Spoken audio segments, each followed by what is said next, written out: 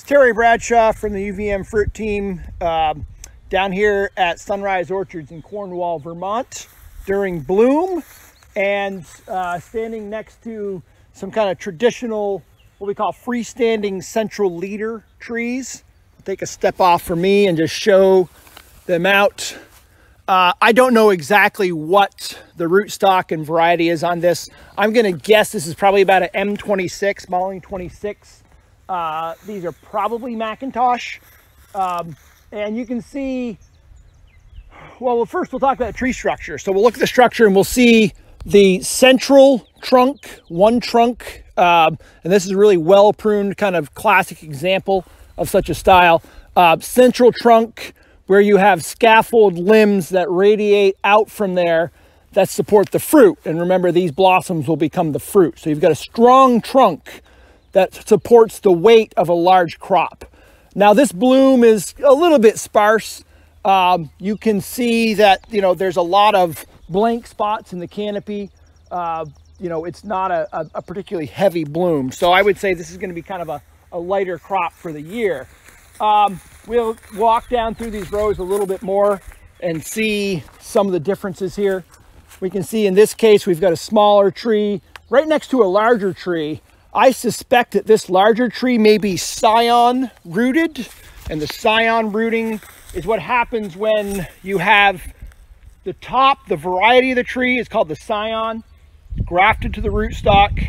And if the tree settles after you plant it and the scion is below ground and the scion sets roots, you will lose the dwarfing effect of the rootstock. And sometimes if you see a row like this, where all of a sudden you got a bigger tree that pops up, uh, it's an indication that you may have some scion rooting going on.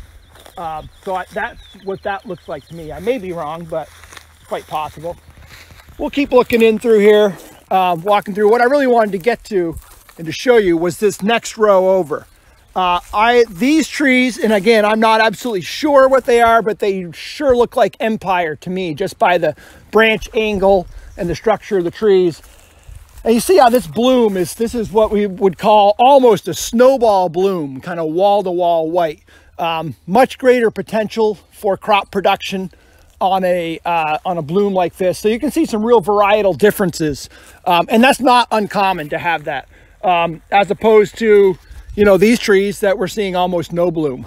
Um, and so the job of a grower is to take, this is too many blooms. If every one of these apples, if every one of these blossoms was to set and turn into a fruit, we would have too many fruit. Those fruit would be too small. We would create too much stress on the tree. And in about a month or so, next year's fruit buds, blossom buds, will be forming. So next year's fruit form this year. And so if we overstress the tree by not removing some of these blossoms or the fruit that come from these blossoms, um, we'll get this biennial bearing habit. Um, and you'll have poor quality small fruit as a result. So this is not a bad thing. Uh, the grower will probably come through here and thin the crop uh, after bloom or maybe even during bloom. Um, and that's a way to kind of adjust the hormone uh, balance in the tree that tricks the tree into thinking there's either too many fruits or maybe that the photosynthetic rate is too low to support those fruit and it causes some of those fruit to drop. It's a very, very common practice, um, and I would even say a necessary practice that's done. Um, but I still want to kind of get a sense because we're going to look at so, uh, uh, at a more uh, modern dwarfing system that's a very different structure. So I'm going to come back around. We're talking about systems still here. Um, freestanding central leader, See that, that central trunk that your limbs radiate out from. Um, the tree is held up by a lot of lumber, a lot of wood is holding that tree up. And yes, we have a tremendous amount of, of, of fruit potential, right, with all these blossoms. But if we were to look down at this from a, from a high level and look at the architecture of the orchard and look at the spatial uh, layout of the orchard, we might notice that um, there's a whole lot of this tree, the center, where there's no fruit production or very little fruit production. And you'll also notice that's in the shade. Uh, and so, yes, we can produce high uh, yields. In fact, in this orchard during other research projects, I've measured 1,000, 1,200 bushels per acre, which is, is as good as you'll see in even the most modern orchards in New England. Um, but most of the time I'd say you might get about 700, 800 bushels per acre, um, which is not bad. And, um, but it's not as high as you could get. One of the other things about this is if you were to imagine a tree, if you were to, to you know, one of the sayings can be that what's up is also what's down, meaning, you know, a big tree like this has also got a big, uh, resilient, kind of anchored, structured root stock, root system um, which also means that this tree is going to be fairly resilient to things like drought stress, uh, to potentially cold damage because it's got a strong set of roots. Um, and that's one of the benefits to this type of system um, that we're starting to see as we have more issues with climate change and some insect pests that, that cause damages to trunks, uh, particularly small, tender trunks. So I'm not writing off this system. Um, but it is very different and we'll see when we look over at the at the other system the distribution of the blossoms the distribution of the fruit within the canopy can be very different uh, but i'll just leave with this shot of just an absolutely fabulous bloom on um, what i believe to be an empire probably on about m26 semi-dwarfing rootstock so here we are just across the road from the larger freestanding central leader trees that we were looking at before this is a modern high density uh, tall spindle system. So this variety is Macoun. Uh, and you can see this is just gorgeous in terms of uh, the blossoms, uh, the tree form, um, everything is kind of lined up right. You got a nice bee doing its thing there. It's always great to see those. Um, this block was planted, don't quote me, but I want to say maybe 2014, 2015. So this is about five years old. Um, Macoun is a fairly um, low vigor tree, so these are a little bit smaller. We'll step over a row and you'll see a more vigorous uh, tree under this system. But the thing to look at is just look at the absolute uniformity of this planting. Um, all the trees are of, a very similar uh, um, size, distribution of uh, fruit buds, uh, blossoms now, uh, and um, you can see it's just a wall of blossoms.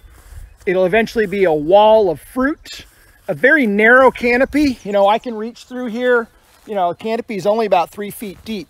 And that's really important because as we looked at with the freestanding central leader trees, the interior of the tree uh, could be six feet from the outside of the tree. The, the, the, total tree might be 12 feet wide, 10, 12 feet wide, um, which means that the interior of the tree gets shaded. Whereas in this situation, there's no shading anywhere in the tree. Um, the other thing that's different is none of the limbs are old. All the all of these fruiting these shoots are young wood, maybe maybe three years old, but most of it's probably about two years old. This system is designed such that you're growing fruit buds and fruiting wood instead of vegetative wood or lumber, right? Um, because we build these trellises, these very rugged systems, you know, with pressure treated poles, bamboo wires to train the trees against, multiple high tensile wires. Um, these are highly engineered. Um, this is a fabulous trellis. This is like a Cadillac of trellises.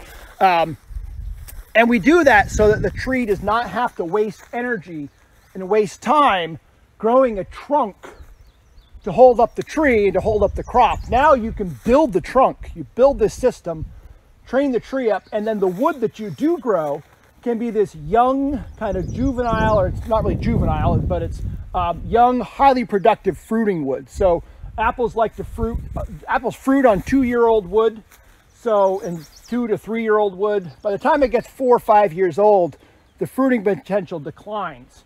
So these trees will, none of these limbs are permanent. The only thing that's permanent is that trunk.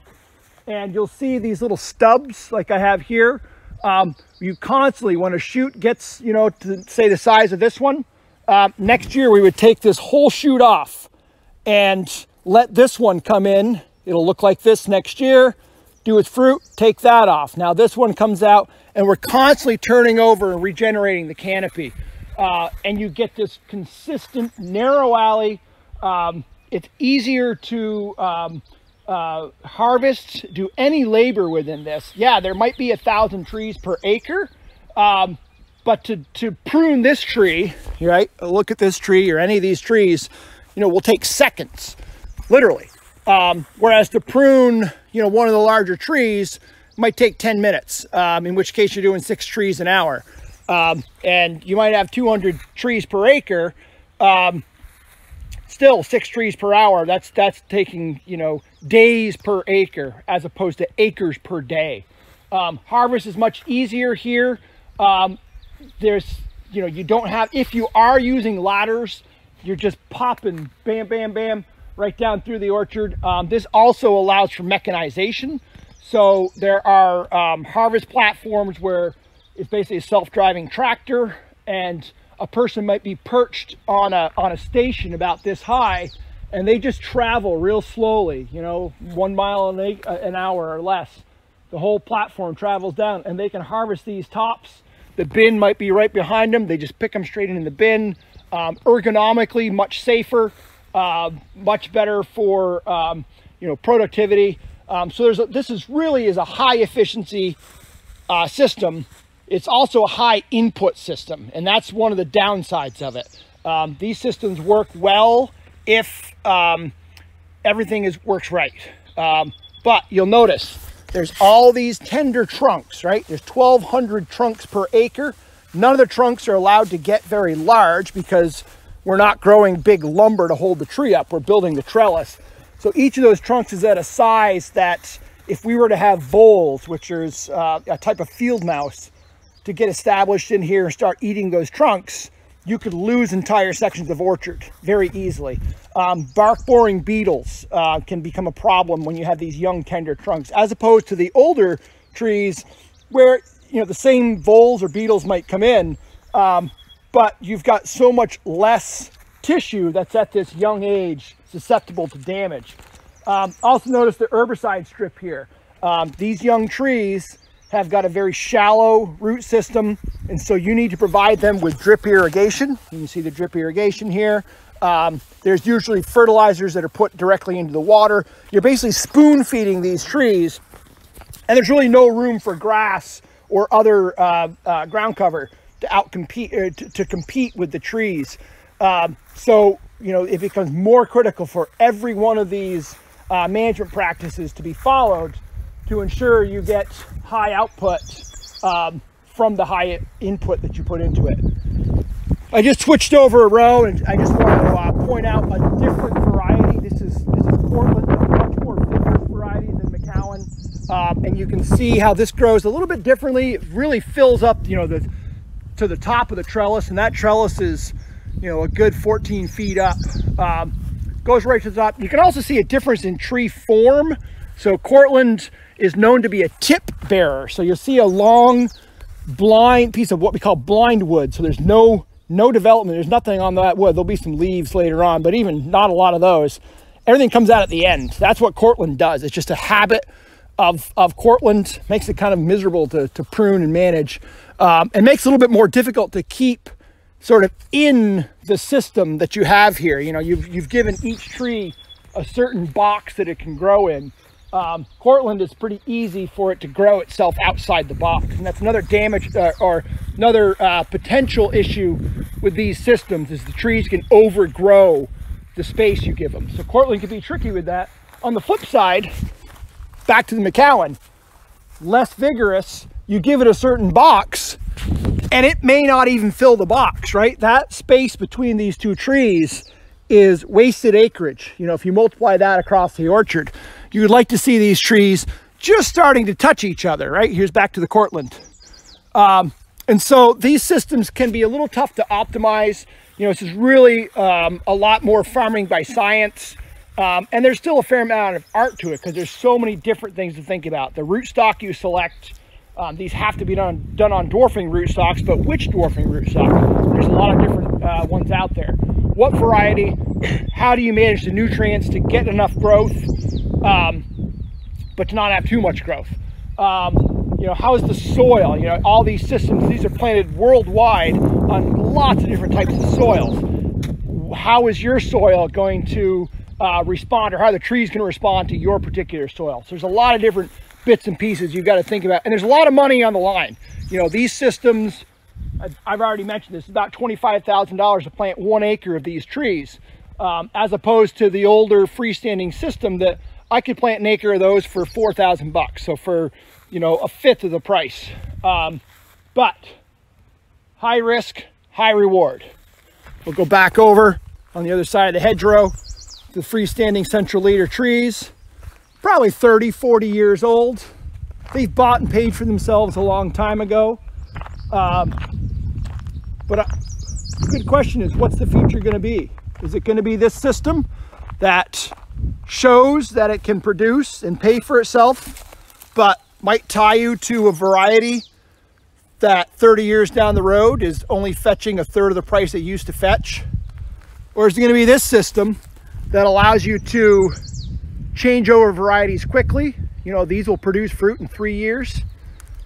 These will produce fruit in eight to 10 years. And what if what happens if in eight to 10 years the price of that variety drops? So with this other system, we can, you know, really adapt to changing markets. But it's expensive to play that game. Uh, you know, to, to establish an orchard like this, you don't just go in and go out. Um, you've really got to do your math, do your homework, uh, and then do your management. You really uh, need to stay on top of things. And this is a fabulously well managed, uh, you know, high density, tall spindle system where they really are doing all the management. You know, meanwhile, across the road, I'm not saying this isn't well managed, um, but again, there's a certain resiliency that uh, exists within these types of systems where, you know, you can certainly weed pressure is a, is a whole different, it's not that weed pressure doesn't exist, but it's a very different scale um, to where a lot of growers just let the grass grow to the trunks and mow it. Um, you know, pruning, you might prune these once every year or two or three. Um, three's kind of the, the, the, the, maximum end of pushing it. Whereas with this system, um, every year, no matter what, you've got to stay on top of these things. Um, and so, yeah, the labor for what you do do takes less time per certainly per tree and potentially per acre, but there's a lot more things to do. So um, like anything, you know, there's a balance. Um, I don't think there's any one answer. Some people really do think there, there's camps out there that consider this the only way to move forward and that consider this the only way to um, stay viable for the long, long term. Um, one's more ecological, one's more economical. Um, I think that there's a balance between those and um, you know, we're going to see as we move forward a combination, just like in this orchard, which provides me a perfect example of a way to compare and contrast the two systems um, to look at uh, what the apple industry or what the tree fruit industry is going to look like as we move ahead. So I'll just cut back and maybe walk down through. Um, it's another tall spindle system. Heirloom tree. So this is an interesting one. Um, we're taking old antique varieties. Esopus Spitzenberg, for example, 2016. So this is a four-year-old block.